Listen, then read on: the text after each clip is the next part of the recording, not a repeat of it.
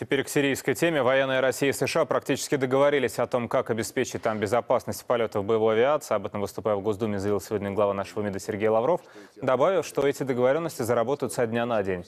Речь о мерах, которые позволят избежать инцидентов в воздухе.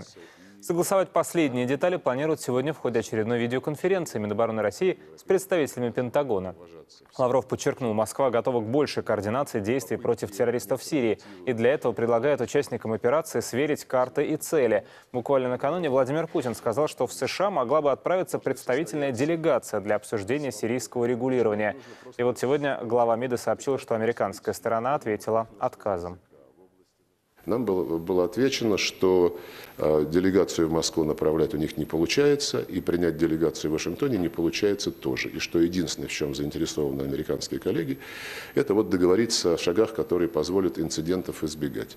Но, конечно, мы готовы идти гораздо дальше, координировать гораздо глубже, э, в том числе для того, чтобы достичь той цели, которую все-таки эта коалиция, созданная больше года назад, объявила – уничтожить ИГИЛ.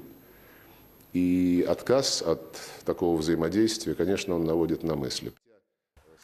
При этом Сергей Лавров назвал политикой двойных стандартов отказ США поддержать резолюцию Совбеза ООН, осуждающую обстрел российского посольства в Дамаске. Американская сторона не согласилась с формулировкой, в которой случившееся квалифицируется как теракт. По словам Лаврова, США отказались стать на сторону тех, кто ведет борьбу с терроризмом.